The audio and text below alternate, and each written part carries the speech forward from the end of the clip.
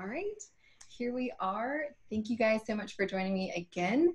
I am here today with Michelle Goodman, and we are talking specifically about deep self care and why that's so important, uh, not just as entrepreneurs, but female entrepreneurs, online entrepreneurs.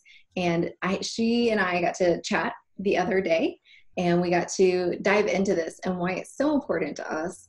Um, let me tell you a little bit about Michelle Goodman. Um, she is an empowerment and mindset coach, and she specifically focuses on mompreneurs um, or mom entrepreneurs, if you're not familiar with that term. She works with women who are struggling with juggling that mom life while running their business, and she helps women to get present with their kids. She helps them get more connected in their relationships while running a successful business. And so, after 20 years of healing work as an acupuncturist and running a successful wellness center, all while raising three kids, three kiddos. She brings her insights and knowledge to help others do the same without the overwhelm. And that's really important. And so, Michelle, will you tell us just briefly a little bit about your business? Yeah, I um, I love. I'm really passionate about helping women um, get the self care that they need, and also to learn about. Um, what's important to them when we're juggling all these things it can get so overwhelming and you know we kind of get completely stressed out. And so bringing um, what i've learned through my acupuncture um, uh, career and also teaching women just how to like pay attention to what's going on inside listen to their energy listen to the body signals and start to really pay attention in a way that empowers them so they can learn to flow with life and get aligned um, with their core values so that they can perform their business and their life the way that they would like so. I love that. I think that that is really really powerful work and so necessary because there's a lot of amazing women out there and they're really good at being a mom and they're really good at what they do but doing both at the same time proves to be a big obstacle and you mentioned something about like the, the core values. Um, mm-hmm. something that i'm always interested in hearing about like what emo- what motivates people and what keeps them focused and a lot of that has to do with core values. What are some of your core values as a business owner Oh gosh, I mean, authenticity is my biggest one. That is so important because when we're authentic with ourselves, we can perform aligned action and it comes from such a different space.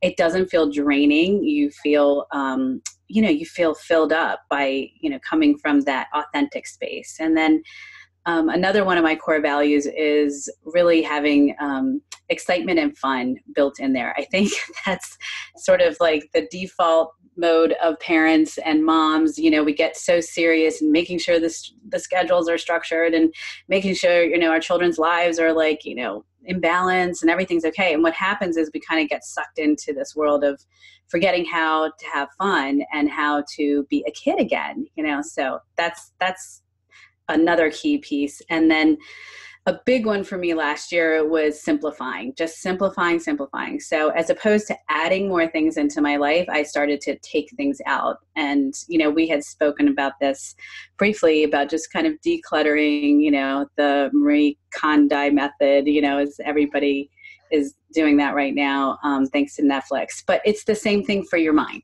you, you need to take out the things that just don't matter and really start to um, pinpoint you know those core values so that you're you're acting from those core values. Does this does this is this something i want to do in my life? Is this something i want to um, you know proceed with? So everything that you do in your day whether it's running errands and you know going to the grocery store or building your business is this an aligned action? Yes i need food for my family and i'm really excited about making this meal tonight you know as well as here i am i'm so excited to put this content out or i'm so excited to put this blog post up. I think it's really going to reach women. So coming from that space you don't feel drained you actually feel filled up. Yes it's restorative even. Yes so that's really cool. Mm-hmm. um, I, and i love those they're very clear and I imagine that they keep you very aligned in what you're doing. Yes. And so part of that too is and like simplifying allows us to create space for self-care. And we were chatting about this the other day. And initially, when I started my business, I was putting in some very long hours. And I imagine you were too, mm-hmm. um, especially with the little ones. And initially, my idea of um, self care was just going to get a pedicure or going out for a walk. And, I, and what I've come to learn is that, that that, that is not deep enough. That is not restorative enough. And so I want you to teach us a little bit about what is deep self care? What does that mean? And what does that look like in real life? Give us some examples. Okay, so deep self care, I love that you asked this question because, like I said, you know, it's not just getting a mani pedi and thinking, okay, I took care of myself. No, like let's see what fills your fountain, what fills you up. Um, getting a massage and then also doing some deep energy work, you know, that can fill you up. Do you walk away saying to yourself, wow, you know, something shifted for me in that, you know, energy session, or I'm really thinking about something in a new light. That is deep self care where we're really pulling apart the layers, figuring out what doesn't, you know, what doesn't belong anymore, what doesn't fit into our world like it used to. And maybe, you know, it did apply at one time, but it doesn't apply now. So, like when you were saying, you had to work hard in the beginning, that that is true to some extent and how can we fit in those pieces so our schedule is actually built around the self-care as opposed to you know um, putting in the self-care here and there and thinking oh that's enough for the month and then you like pull back and look look back and realize wait a minute i'm only doing like 30 minutes here and maybe like 20 minutes over here that's not enough in a 30 day period right. so i really invite my clients to um, take their week and look where every single day they're applying something. So, and and of course, I teach um, meditation and I teach them to journal because those are the two biggest things that will get you connected into what's going on in your heart yeah. and what's going on and what works for you. And the way that you know things don't work for you is that you're going to have that emotion of oh that feels uncomfortable or oh i don't like that or you feel uneasy or you feel guilt or you feel shame those are that's the way you know okay that one right there is not working for me anymore and you can pull it out i'd love to pause right there and just like kind of hover here in this place of like indicators like mm-hmm. how do i know if something's not working well that feeling of guilt or shame right. like what is that and i i I, uh, I use this more with fear um, as it comes up for people, but it's not that fear is bad or maybe mm-hmm. aren't these emotions aren't inherently bad, but they're like the indicator on your car. Like your check engine light could just be a loose valve, or it could be something super serious that says investigate. What something's going on here. Yes. And our emotions give us a huge clue and a huge insight into what's working for us in our balance and in our self care yeah we need we need our emotions you know they're our gateway into what's working for us what is really you know aligned. I use that word a lot because when we're aligned with what truly is belonging inside of us it it does become effortless. It it does become with less effort. And you start to maneuver life and start to you know integrate into your life a way of being that you've never felt before. So this is what i get really super excited about. I get very excited about it too um, tell me have you come across um, and you're working with clients what are some of the the results and benefits that you're seeing um, as they start to get the hang of this how how do they start living their life as compared to what they came to and what their life was like before? Oh my gosh, I'm so happy you asked that because I just got off the phone call earlier this morning with a client, and she came to me very chaotic, very, you know, just like, I don't know if I can do this. And, you know, just sort of a frantic, frenetic energy um, about her. She was super successful. She's a uh, child psychologist. I went to um, Hopkins. Amazing woman, you know, has a kid, has another one on the way.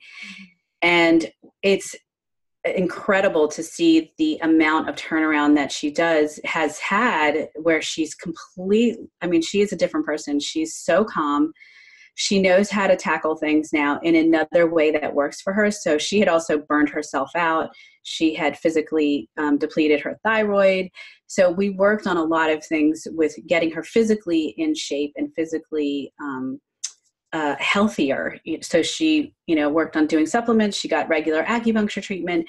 She um, also learned how to listen to her internal voice and listen to her heart.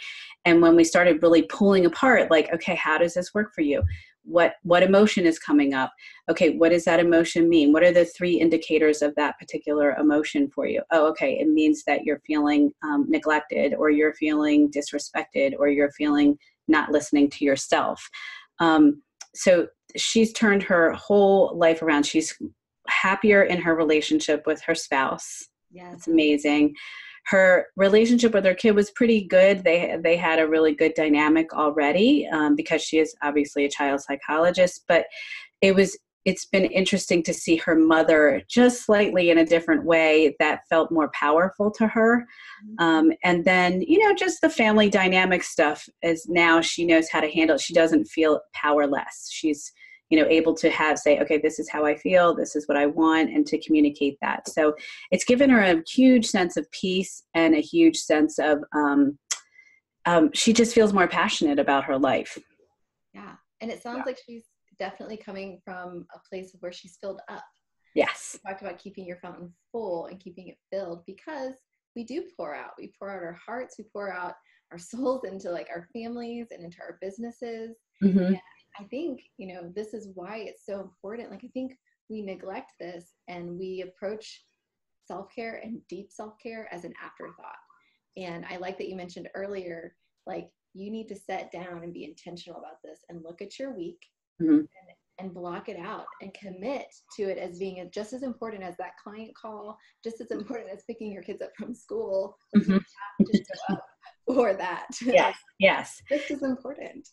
It's just as important. And we develop that trust with ourselves. So when we, you know, say, oh, I'm going to go journal, and then you don't do it, what you're doing is you're you're breaking the trust with yourself. And you're you're having this discord. So whether guilt or you know just oh god i didn't do it again you've let yourself down. And a continue like those little pieces chip away at us and we don't realize it. And what it does is sets up a distrust with yourself mm, i've never heard it framed that way but i love that because it makes sense. Yeah. Sense. We make these internal commitments and when we break them to ourselves we beat ourselves up right? Yep. we don't have somebody else to be upset with and we broken trust right. person but with ourselves. Yes. That is really really beautiful and beneficial. Thank you for sharing that. Yeah um, in what other ways do you see um, deep self-care or the lack thereof impacting women and men in their businesses um, i primarily work with a lot of women and i do have some male clients but um, you know, I have a lot of friends who are moms, mm-hmm. and I see them struggle with this a lot more. Um, and I think that's just the nature of the day that we live in. But um, what do you see as a consequence of us not taking this seriously? Oh, wow. I mean, that's where burnout happens and that's where frustration i see a lot of that too you know women do kind of come like i said in that sort of like chaotic energy where they're frustrated and they don't even know why or mm-hmm. they feel lack of like they feel that they're lacking but it's not really about a lack it's that they haven't tapped into that deep self-care enough to know like wait i do I, you know, like to live my life like this. You know, I'm someone who wants to go to bed early because I know when I nourish myself that way, I get a full eight hours of sleep. Or, you know, I'm someone who needs seven hours, or I'm someone who needs nine hours. I mean, that that right there is like you give yourself that commitment, and you start to realize I can fill up my tank. I can fill that up, and and the more you fill that up the more available you are to your children. So they're you know when they do their kid things it's not going to trigger you as much because you're full you are filled. Oh okay they're just being a two year old okay they're throwing a temper tantrum. It's not going to affect you. Whereas you know when we're so depleted and we're not doing that deep self-care you know a two year old having a temper tantrum the next thing you know the mom's having a breakdown too because she she's at her wits end and can't handle it anymore and she's so depleted yeah. And it's very easy to get there, oh, especially oh, yeah. if, it's, if, it's, not um, a regular practice. Correct. Um, that's a word that I've really come to love a lot more recently. um, especially for like mindset practice or self-care practice um, because it is a practice and i think it also gives us that freedom and permission to have like room to fail right mm-hmm. this is something that we're working at building into our lives and we have I'm going to start using your phrasing of like um, we've broken trust with ourselves, and mm-hmm. so calling it a practice says like, okay, I didn't get it quite right this time, or maybe I needed a little more time than what I allotted for myself. Um, but this is a practice, and that can give us some grace. Yeah, and and also like that you spoke to that that you know. and that you didn't do it perfect. I just want to um, say something about that because if we look at it one thing I learned is if we look at it in a year's time. So the first three months, you're looking at the first three months of introducing a new concept to your being. You're introducing a new way of being. So you, there is not going to be perfect. It's really about, okay, I didn't, that didn't work that time. Why didn't it work? Oh, I didn't schedule enough time or I didn't keep the commitment. So in that first three months, you're really learning about this new tool or this new way of being in the next three months you're really integrating it and you're it's starting to become a little bit more a part of you. And you're really starting to okay this is actually i'm getting somewhere. I'm starting to see you're starting to see results. You're starting to see evidence that it's working. And in the the next three months eh, so now we're at like you know six to nine months that's when like sort of the incubation period. Now life is continuing on and you're going to have hiccups and you're maybe going to forget that you you know didn't meditate and then oh my god it turned into a whole week. And so that's where you're going to really learn the like concrete examples you know of like okay i know in my life this is where i need to set up fail safes. So that's what the next section is. And then 9 to 12 is really like okay now we fully have embodied it. Now it's become part of our body and it's become part of our um, our framework. It's in our cells it's in our dna i'm getting used to this. And so you can equate it to working out. You know most people can see a transformation through those but when you're at the end of the year that's when it really becomes a part of you. So that's where you can kind of let yourself off the hook. It doesn't have to be perfect within 30 days. Oh man I love that you gave us permission with that because a lot of us, if we have families and we're trying to run businesses, we're trying to create movements, we're the kind of women that puts lots of pressure on ourselves to get it right. Get yeah. It right. Yeah. And just having permission to not have to get it right, especially the first time or within this time frame that is self-imposed. Mm-hmm. Mm-hmm. Pressure on us, except for right. taking a deep breath and saying like, wait, I have time to figure this out. I have time yes. to work this in. I have time to figure out what works and what doesn't. Okay. Oh my goodness. I wish yeah.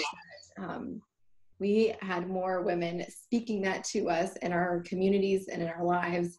Um, and another thought, if I could share, um, there was, um, I went and met up with a group of gals um, earlier this week. I can't remember what night, maybe Tuesday night. Mm-hmm and the speaker at the event I was at shared this beautiful visual, which I think goes perfectly with what you're talking about.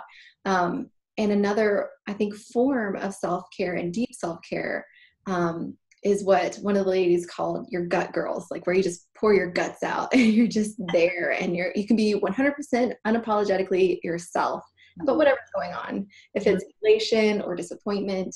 And it's like we serve these different roles of being a pitcher or a glass. And she had this beautiful illustration of pouring back into each other and filling your fountain. Mm-hmm. And I think, too, for the business journey in particular, having that right community of what I think I'm going to call it gut girls. It sounds weird, but you know what I mean. Yeah. Um, of, of, people who are your people mm-hmm. and incorporating that piece, even if they live far away, mm-hmm. um, making sure you're staying in touch with them and getting that soul care um, as well. So it's just um, the meditation and in tuneness with who you are and where you're at and what's going on with you, but also having those people around you, I think is part of the equation. What do you think? Yeah. Oh gosh. Yeah. I mean, community is such a vital piece to being a human being. Yeah. And we forget that. It's very easy to forget, especially in today's day and age. I mean, you can literally sit in your hole with your computer and feel like you're integrating with out, the outside world, but you're really not. I mean, it's really important to have that in touch community and and or a community but you're speaking to them you're seeing them that's what makes us human that's a piece of being uh, in, in humanity and so community gives us that piece of like, oh yeah, I'm human too. Oh yeah, you're human too. It gives us that other layer um, and building that framework. So we start within within, but then it's like you know they say like surround yourself with the five you know five core people in your life or the five core people in your life who are they who are they? And then i say there's like the next layer of community and where we're expanding that five those five people into a next level group. And that allows us to be human. That's why i like that gut girl thing i think. I like that phrase. Um, well awesome well, I would love to hear more about um, ways that people can work with you if they're in this place and needing to figure out, because this is a process. And sometimes we need someone to come alongside us and coach us through how to get this as a, a system or a process in our in our lives, in our day to day. So, what are some ways that you work with women and um, help them with this? I have an eight week program. It's called Align and Empower, um, and you'll be leaving a link for that. So that's one way, and that I love that um, this concept because it's it is that community piece. We have that community of women that will be supporting and engaging with each other, and it's only open to women and um, and it's an eight week program. So it's and you'll get one on one attention from me as well as you know the community aspect because like i said that's so important especially to women you know and and being a part of something. Um as well people work with me one-on-one like i mentioned before so that's another thing. Um yeah so those are the two ways to get in touch with me. Perfect. And we will definitely leave those links in the show notes. You can okay. the website to check those out and what are the, some of the platforms that you're also visible on? And we'll link those as well. But go ahead and just share where you're you hang out on. I hang out. I know. I hang out on Instagram. Um, I'm getting really like totally into uh, IG stories right now. So you'll see me on there frequently, and that's at Empowered Bliss on Instagram.